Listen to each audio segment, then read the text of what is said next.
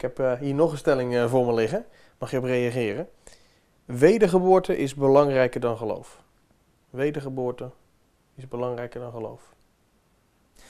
Nee, ja, dat kun je niet zeggen. Eh, Ik kan me voorstellen dat mensen zeggen, hè, het, het beste middel tegen het Arminianisme is de noodzaak van de wedergeboorte Ja. te benadrukken. Maar je kunt niet zeggen dat de een belangrijker is dan de ander.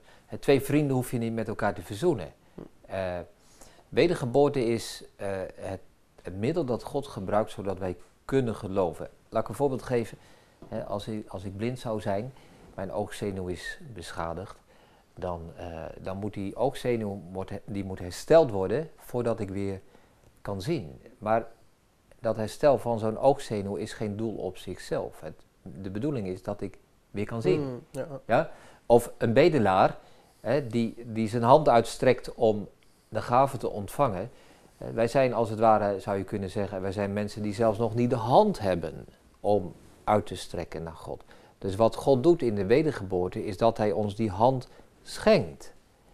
Maar dan kun je niet zeggen, nou nu heb ik mijn hand, het is al in orde. Ja. Vervolgens moet je die hand gebruiken om hem uit te steken en de gave te ontvangen. Dus de wedergeboorte is nodig om ons in staat te stellen en ons ertoe te brengen dat wij met de daad geloven. Die zin hebben we nu al een paar Mm. keer aangehaald, maar die is telkens weer heel belangrijk. God geeft de wedergeboorte zodat wij daadwerkelijk onfeilbaar zeker zullen geloven. Dus die twee dingen die eh, horen bij elkaar. Oké, maar op welke manier zijn ze dan? Want dan blijken ze dus allebei bij elkaar te horen. Zijn ze dus allebei belangrijk. Maar zijn ze niet allebei hetzelfde? Nee. Ehm, hoe verhouden ze zich dan tot elkaar? Wat, wat, wat is het belang van die twee? Ja, die wedergeboorte is, hè, die staat ten dienste van het geloven. Het stel- stelt ons in staat om te geloven. En eh, ook, hè, het is ook een bron van de heiligmaking, maar dat kunnen we nu wel even laten rusten. Maar de wedergeboorte is de bron die mensen in staat stelt om te geloven. Eh, en daarom heel belangrijk, maar nooit ten koste van het belang van geloven. Hm. Want stel dat dat zo was, hè, hè, dat, je, dat je wedergeboren zou zijn en niet in Christus gelooft. En eh, dat wij voor Gods troon komen. En dat wij rekenschap moeten geven. Zouden wij dan kunnen zeggen, ja maar hier ben ik, ik ben toch wedergeboren? Dat gaat niet. hè. Onze wedergeboorte blijft onvolmaakt en blijft onvolkomen. Hè, en onze, mijn wedergeboorte hè, die God mij gegeven heeft, kan niet gelden als betaling voor alle zonden die ik gedaan heb. Dus wij hebben het offer van Christus nodig. En dat offer, dat voldoet voor alle zonden. En dat is de bron van heiligmaking enzovoort. Dus wij moeten, wij moeten Christus hebben. En Christus ontvangen wij niet door de wedergeboorte, Hm. maar door de hand van het geloof die die Ja. gave aanneemt. Dus er kan ook nog wel een gevaar in zitten, hè? dat je als wedergeboren mens zeg maar toch weer wat wordt met je Hm. wedergeboorte. En eh, om dat af te snijden is het altijd nodig om daarnaast te wijzen op de hand van het geloof, die Christus aanvaardt en ontvangt. En daar ligt alle volmaaktheid in. En daarmee kunnen we voor Gods rechterstoel verschijnen. En niet met onze wedergeboorte. En toch, hè, eh, mensen die met ons meekijken, nou, die hebben misschien ook wel zoiets van eh, een beetje verwarrend hoor. Wedergeboorte, geloof. Waarom, ja, waarom die twee woorden voortdurend gebruiken? Waarom niet gewoon in de Bijbel of in de dosseleres, waarom niet gewoon voortdurend gewoon alleen over geloof hebben? Waarom is het belangrijk om het over die, over die beide te hebben? Ja, ja. Ja, de- ja, we kunnen ook niet de wedergeboorte verzwijgen. Eh, De Dordtse leerregels die zeggen eh, ehm, in hoofdstuk 3, 4. ehm, sommige mensen die de wedergeboorte krijgen, ontvangen, waar komt dat nu vandaan? En dan staat er, dat moet men aan God toeschrijven. Niet aan onze eigen vrije wil toeschrijven, maar aan God toeschrijven.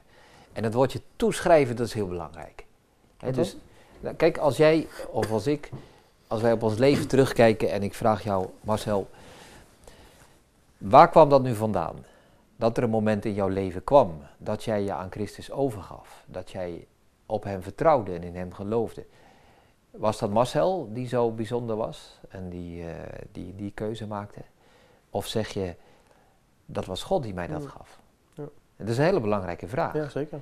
En de wedergeboorte onderstreept dat tweede antwoord. Die zegt dat mijn ogen open gingen, dat ik de heerlijkheid van Christus ben gaan zien, dat ik Hem heb aangenomen, dat schrijf ik niet op mijzelf, hè, op mijn rekening, Mm. dat schrijf ik toe.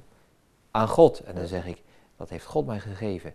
Hij heeft mij vernieuwd, hij heeft mij wedergeboren.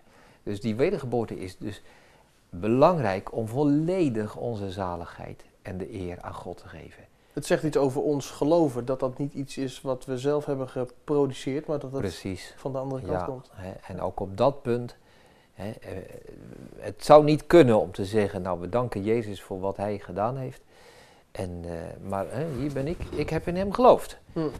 Hè, daar zou nog weer de trots in kunnen kruipen. Hm. Maar dan zeggen wij, ik heb in hem geloofd en dat geloof is een gave van God dat hij mij geschonken heeft.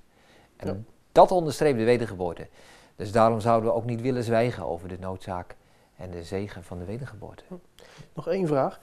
Ehm, heeft dit ergens ook een verband met het feit dat je als gelovige een gelovige blijft?